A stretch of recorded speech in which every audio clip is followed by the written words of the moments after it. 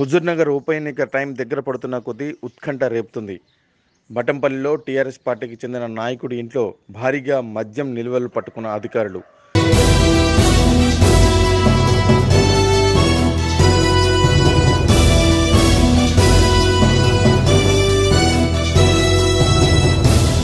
పదకొండు లక్షల యాభై ఆరు వేల రూపాయల విలువైన రెండు వందల కాటన్ల మద్యాన్ని అధికారులు పట్టుకున్నారు.